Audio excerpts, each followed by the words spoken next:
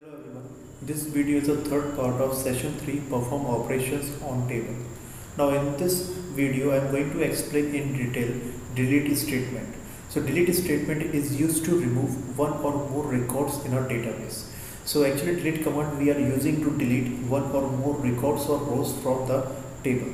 Now syntax for using delete command or statement is first of all delete command name we have to write then from after that we have to write name of the table in double quotes thereafter where and after where we have to give condition and then semicolon. So this is the statement of the delete command. Delete from table name where condition and just to end delete command we have to enter semicolon at the. now just to explain delete command practically here i have considered one situation. So here as you can see delete record of a student whose name is Sachin from the student info table so in this student info table, we have record of such a student and this student record we have to delete from the table student info.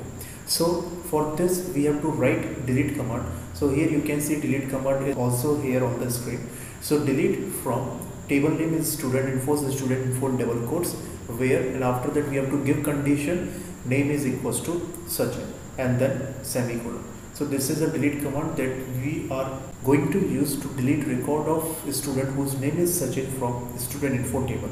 Now I am going to show you how this delete command will work practically by using OpenOffice base database and in that we already have student info table. So now moving to OpenOffice base student info table. So here you can see in this table we have fourth last record of Sachin and this record we have to delete by using delete command.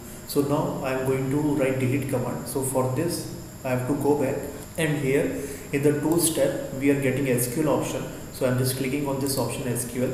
Now I'm going to write delete command. So delete from table name is student info and table name always write in double quotes. So student info thereafter where? After that condition we have to give. So name equals to Sachin and then semicolon. So this is a command. First of all, delete from table name in double quotes student info where and then we have to write name is equals to Sachin. So here this is the delete command and this delete command will delete record of student whose name is Sachin from student info table.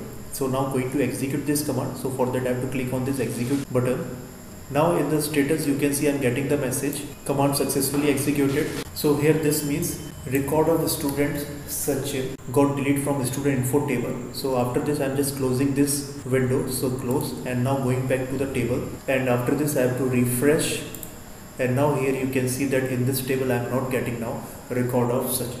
So in this way we can use delete command to delete one record from the table as well as we can use delete command to delete two or more records also.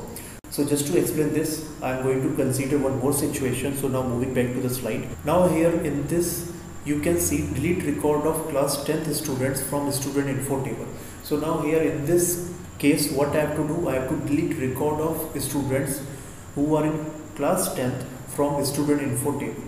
So for this, how will we write delete command? So first of all, delete from the name of the table student info where and then in the double quotes class equals to 10 and then semicolon. So this is the command that we are going to use to delete record of class 10th students from student info table. So now going to open office base just to show you practically how this command will work. So here in the table first of all you can see that three students are there in class 10th Ramesh, Anand and Anuj and I have to delete record of these three students because these three students are in the class 10th. So now going to write command to delete these three records. So here again tools tab SQL first of all delete from the student info where class equals to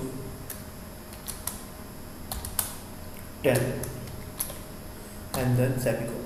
So here in this case those records will get deleted in which the class column value is 10 from the student info table. So now going to execute this command. So execute.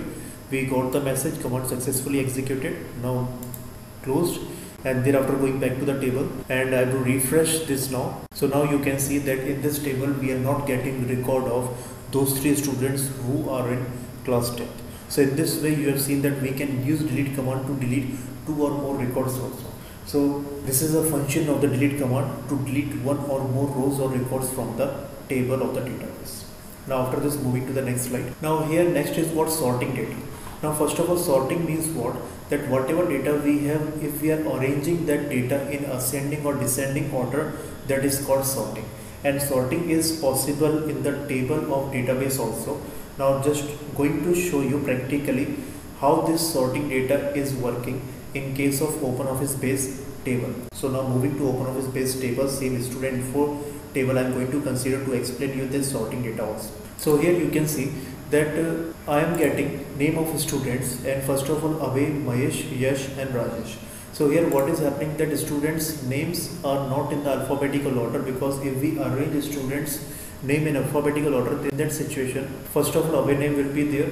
Then Mahesh. After that in the third row we will get record of Rajesh and thereafter Yash will come. So here what I want to do I want to arrange the students details in the alphabetical order of their name. So for this what we have to do first of all select that particular column. So as I want to arrange the students as per their name. So here first of all this column is selected and then we have here two options A to Z and Z to A. So if we want to arrange in the ascending order then we have to go for A to Z and if we want to arrange in the descending order then we have to go for Z to A. So here as I want to arrange students name in the alphabetical order A to Z so I have to click on this option. So here when I'm clicking so you can see that first of all Abhay, Mahesh and thereafter we are getting the record of Rajesh and then we are getting record of Yash. So in this way we can arrange our records those are in the table in ascending or descending order and for that we have here sorting options in OpenOffice base just above the table. So now in this video you have seen how can we use delete command to delete one or more records from the table as well as you have also seen that how can we arrange our data in the ascending or descending order. So here this video I am going to end and the remaining part of the session 3 will be covered in the next video.